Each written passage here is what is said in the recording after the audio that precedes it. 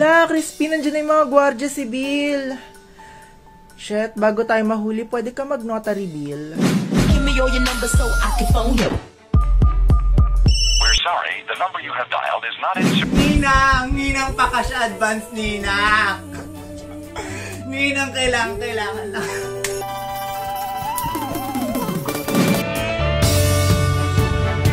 Hello everyone! Welcome to my YouTube channel. O kamusta? Feel nyo na ba ang Pasko? Ang kakausapin natin ngayon is somebody na sikat at kilala nyo sa TikTok, si Sasa Girl. Pero alam nyo ba, masalimuot ang kwento rin ng buhay niya. Napakatagal na kasambahay ang kanyang ina. At hindi po nila to bahay. Sa napakatagal na panahon, sila po ang tagabantay ng bahay na to. Hello! Yan. Hello, Sasa! A little something for you. Salamat. Merry Christmas in advance. Oh, the TikToker Oh. Sasa girl. Nakakaloka. Akala ko kung sinong kakandidato. Loka-loka. Wow, thank you, madam. Okay. Oo, ang laki 'di ba? Ganyan. Yeah. Pero ending hindi amin 'to.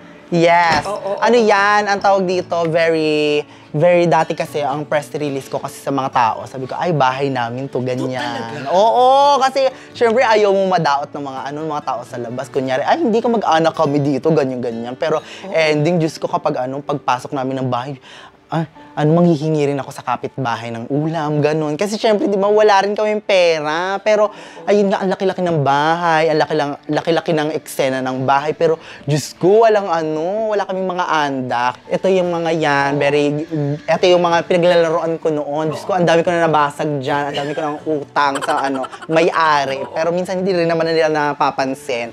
Yes, et, So, ang, ang may-ari ng bahay na ito, nasa ibang bansa na. nasa ibang bansa. Oo. Pero what I found interesting, yung inamin mo na nung bata ka, sinasabi mo sa iba, bahay niyo to. Yes! Oo, because alam natin pag bata ka, di ba, nahihiya ka. Oo, correct. Yes, and then kailan mo na inamin na talagang bantay kayo? Ngayon pa lang, madam. Eto na, alam nyo na, ganon. My gosh, pero pangarap mo magkaroon ng sariling bahay. Yes, talaga kasi nga noon pa lang nagyayaman-yamanan ako kasi ko, ay hindi, dito kami nakatira, ganyan. Walang lalabas na informasyon na hindi kami nakatulong kami dito. Hindi, ganon. Really? Yes, ganon. Oh, wow. Arte-arte ako nung bata, pero ano, ang sabi ko kami ang may-ari ng bahay na to, pero yung Havaianas na suot ko, tatlo yung N, ganon. Kaya, kaya yon hindi mo rin My maano. gosh. Naaawa ka din sa sarili mo kasi ang laki lang ng bahay, hindi mo matulungan yung sarili mo, di ba? Tapos hindi rin sa'yo, di ba? Parang, kumbaga, noon, nakatira kami sa squatter, pero at least nangungupahan kami. Kasi noon talaga, palipat-lipat kami ng bahay. Siyempre, may boss yung nanay ko, ganyan. Tapos, ang mangyayari is, aalis kami ng bahay na ganito kasi mag, maghanap ulit ng panibagong trabaho. Kasi kadalasan kasi, yung tra- work talaga ng nanay ko noon is katulong. Oo. Hanggang ngayon naman, lumilipat kami ng bahay kadalasan. So parang very adjust ka na naman, nakisama ka na naman, ganon. Tsaka minsan pumapasok ako sa school, wala ako talaga akong baon, ganyan. Ang hirap nun. Yes, madam, sobra. What was the hardest moment? Ay siguro, hardest moment ko, siguro nung bagong lipat kami dito sa bahay na to. Sinasabi na nanay ko, ay wala pang ano, pagkain. Tapos inuuto-uto ako na ano, na yung toyo daw at saka yung ano, ang tawag din kanin. Masarap daw yung parang very restaurant na daw yung eksena nun. So, ang nangyari, ako, very ano talaga, kain talaga ako galore na, ay talagang masiba din ako ng bata, ganyan. Nung ma-realize ko ngayon, ay, grabe, no, yun na pala yung pinakinakain namin. Toyo, tas ano, toyo mantika, tapos kanin, ganyan. Dito ako nagti-tiktok kadalasan kasi dito ako naka, ano, nakakwarto. Do. Tiyangge, pinaglumaan ni ate, hiniram sa kaibigan, tas di na binalik. At dati, kwarto ito ng, mga Ng may-ari. Okay. Yes. Eh, hindi rin naman, nung, ah, parang siguro sampung taon ko din hini- hinihintay na, Oo. Ano, kasi hindi nila, hindi pinapayagan ng nanay ko. Kasi nanay ko kasi ayaw daw niyang mag, ano, ayaw daw niya gumalaw ng kahit anong bagay dito. Eh, hindi rin naman buma, dumadating yung mga, ano, mga tao. So, Oo. ginawa ko, one time pumasok ako, tapos nakita ko, ay, medyo malawak, pero madaming gamit. So, ginawa ko, dito na ako nagkwarto agad. So eto ka, saka nagtitiktok sa dingding na to. Eto, dito ako nagtitiktok kasi nandito yung, nung una kasi wala pang mga lights, lights na yun. Siyempre, Ah, may pa ako, may pa lights ng onde, di ba? Ganyan. Dati, araw lang talaga ang ano, katapat Oo, ko dyan. oo. Kaya kapag makulimlim, wala akong TikTok. Kapag maulan, ganon. Kaya maaga pa lang, gumigising na ako para mag-TikTok. Bakit ang political mo sa TikTok?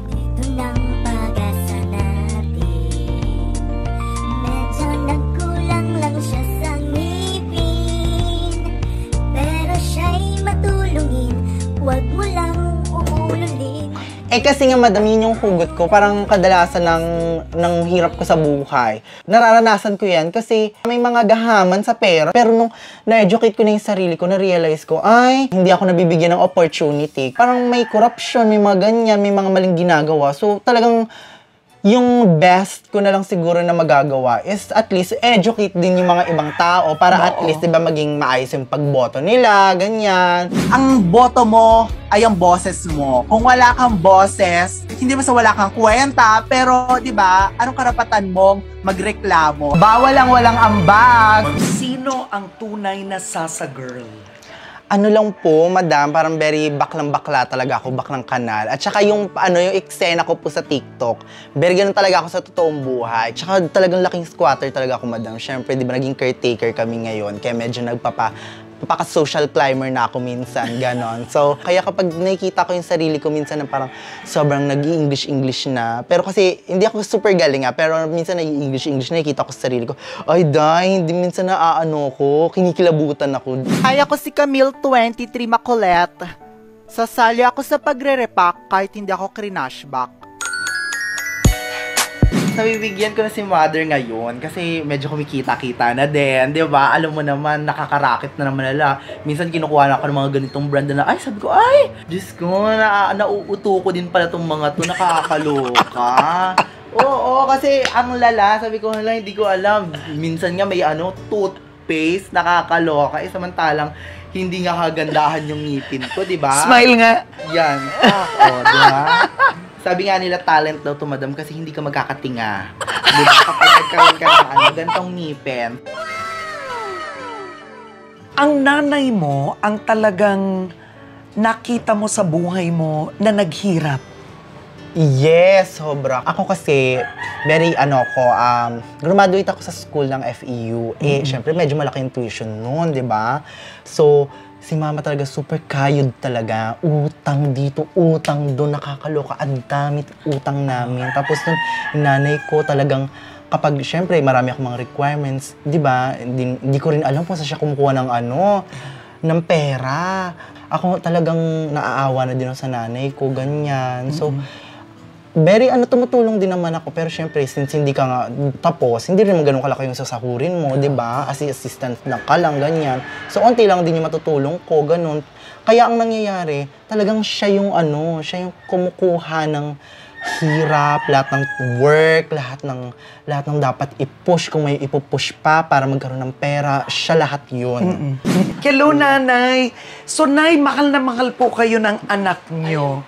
Oo, sabi po niya, ikaw ang nagsakripisyo ng lahat-lahat para sa kanya. Yes! No? Ano, naiyak na si mother. Ano ba naman yan? Ay! Oo. Talagang ano talaga yun. Mad, mama. Manoy! Maupo ako dito. Nakakaloka. Paano ka aaminin na nakaplastikan lang yung sinabi ko kanina? Charot! Eh, lang mama. Nay. Ayun Teka nga, iyak-iyak si mother. Kasi hindi talaga ano yan, hindi yan umiiyak. Ngayon na ano, kasama niya si Madam Karen, super ano, iyak siya, di ba? Kasi nga kaming dalawa lang talaga, madam. Dito. Nay, kinikwento ni kinikwento ni Sasa yung hirap na pinagdaanan niyo.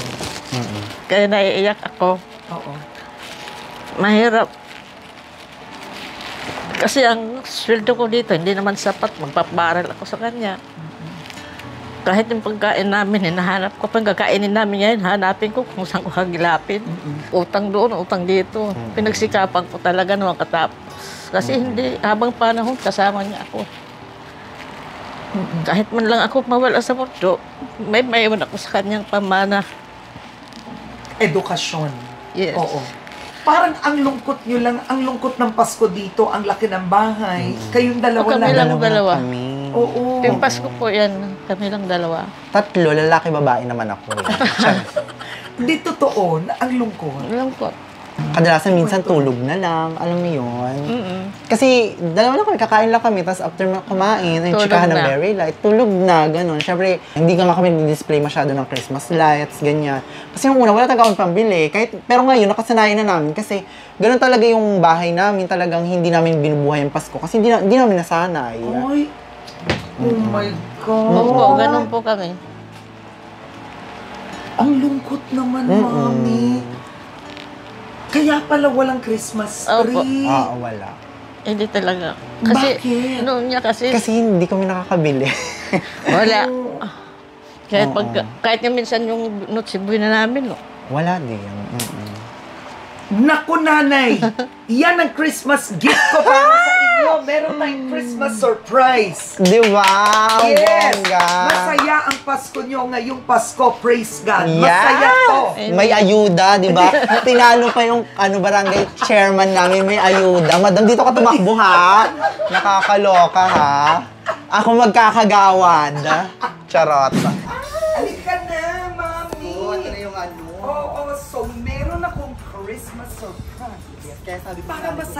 Pasko ninyo. Let us go. Nakakaloka.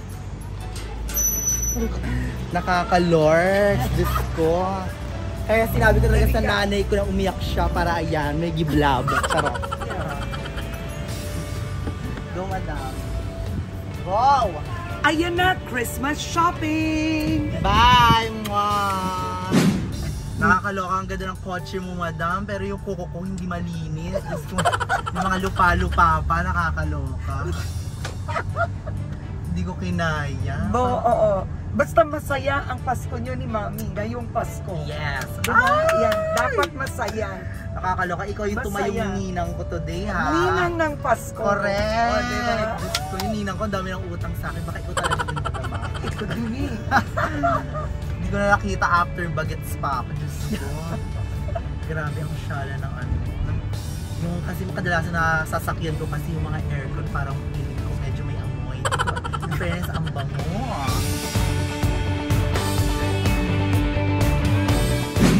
Ay! My God! Nakakaloka. Let's go, ma!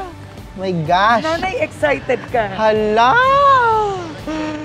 So, ito ang Pasko ninyo Mm-mm. na may Noche Buena na nabongga. Oo, yes! Diba?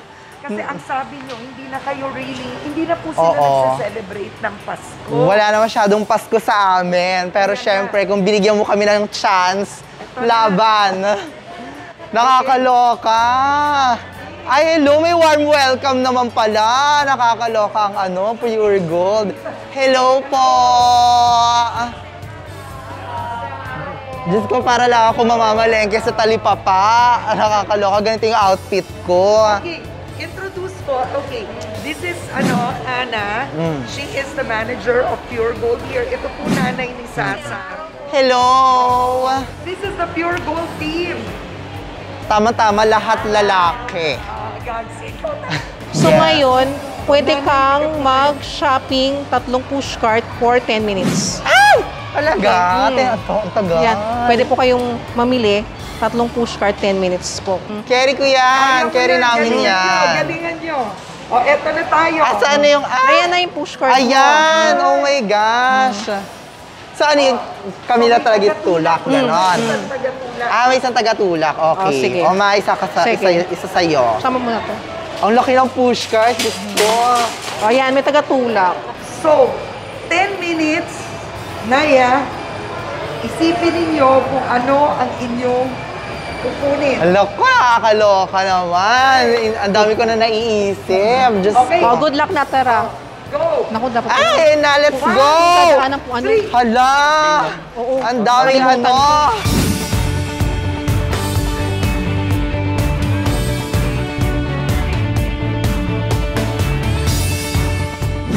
Naku, sinasabi ko sa'yo, pag wala akong nakuha dito, ha, magwawala ako. Charot.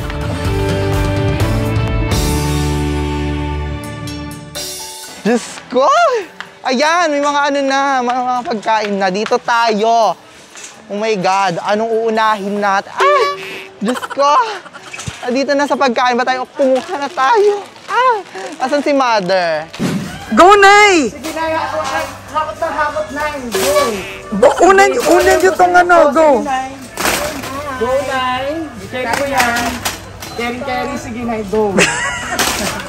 Diyos ko, napagod agad ako. Ato! Mga pagkain! Diyos ko, day! Ay! Oh my God! Naubos na yung mga, yung oras! Ay! Diyos ko, meron pa ako masisira. Nakakaloka. Magma-minus pa yun sa ano. Ayan, go! Ah! Nalaglag!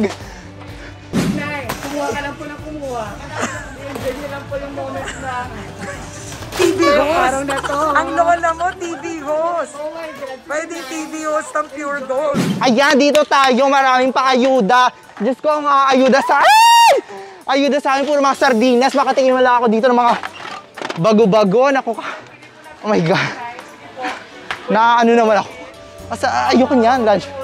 Eto! Spam! Diyos ko, bihira na makakain ng mga bakla ng ganito, no? Kailangan natin to para sa...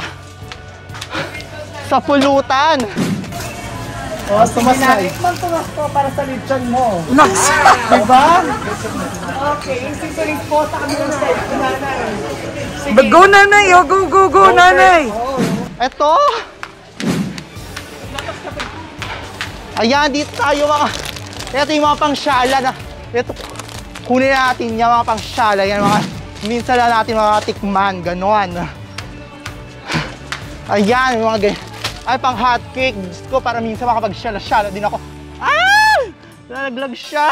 Uy, kuya! Go! Ayan. Oh my God! Ang tagal niyong walang Pasko. So, alam ko masaya kayo, pero kamusta ang Pasko, Pasko niyo ngayon? Ay, masaya-masaya po. Meron na kami pang Noche Buena. May pang Noche Buena na kayo at higit pa. Di ba? Ang init ang ano, naka... Nakawig pa ako, Diyos ko. Tanggalin na yan. Nakakaloka. Bakla. Hindi to tama. Charot. Hiningal ang bakla. Hindi maaari. Parang hindi ako mamamatay sa pandemyang to eh. Sa inyo. Parang kayo pa may kasalanan. Nakakaloka. Bakit ganon? Nasaan ang aking inay? Umiiyak ka ba mama? Kasi tayo daw yung magbabayad. Charot. At ito ang tatlong cards. Bo, ang bongga ng Pasko. Pasko, di ba? Pero parang feeling ko iya-ano ko, i-ER ako ngayon sa takbo ko. Madam, sagutin mo na din yung paano ko ha, ER. Parang feeling ko kailangan ko ng maintenance today. Charot. Nakakaloka.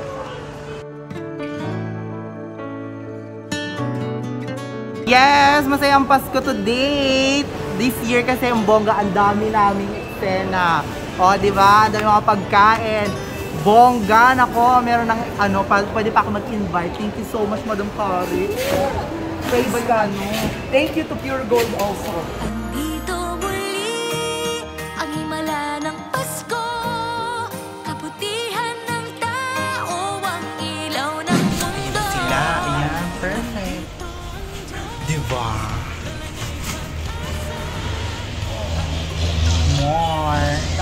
Perfect! Oh my gosh! O, di ba? Ang daming nakubra. Ganon. Ang dami pa oh, o, di ba? Yung mga hamon, Diyos ko. Tamang-tama talaga yung pag-iyak mo, ma. Sorry. ba? Ganon. Perfect. Tatlo. Ako. Oh, ba? Meron na agad siyang pagbibigyan, nakaka-lurks. Charot. Salamat sa marami. Salamat. At talaga namang merry na ang Pasko ngayon ng mag-inang Sasa Girl. Patunay lamang na hindi porket sikat sa social media ay wala ng problema ang isang tao. Akala natin, kilala natin, porket nakikita natin palagi. Not true. Always remember, lahat ng tao sa social media, sikat man, ordinaryo o celebrity, may pinaghuhugutan, may pinagdadaanan. Kaya ngayong Pasko, give love and give to others. And remember, Proverbs 17:22, a merry heart does good like medicine. Dapat merry ang ating puso ngayong Pasko. At nagpapasalamat ako sa Pure Gold, ang aking Pasko partner for your generosity. Remember, Christmas is about Christ. Christ in our hearts. Don't forget to watch, like, and subscribe. See you again next week. Araw ng Pasko. Sasas Gay Lingo. Yes. Maganda. Mabeyonders. Maganda, mabeyonders. O ano ang pangit? Champiririt. Ano ang gwapo? Guwapo is biyaula. Diyos ko, Lord, ang layo. Kasi dati, ano, parang BY ang tawag dyan. Ano ang pagod? Shogod, ganon. Shogod. Yes, kasi ay shogod. Kadalasan kasi ang, pa- ang tawag sa ano sa mga pangit din para hindi mo hindi na diretsong pangit. Pagod. Ay, si bakla pagod, ganon. Medyo kumbaga nakita mo na yung kahirapan sa mukha niya, parang ganon. O ano yung walang pera, mahirap? Purita Mirasol. Ganon.